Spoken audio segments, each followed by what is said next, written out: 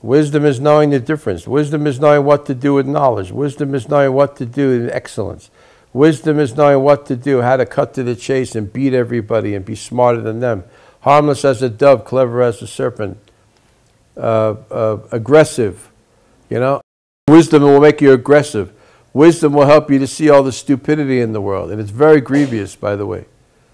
Very grievous when you see uh, all the stupidity that's in the world because your wisdom light is turned on. It's painful. You look at people and say, Why did you do that like that? Why didn't you do that? Are you kidding me? And to you, it's as clear as day.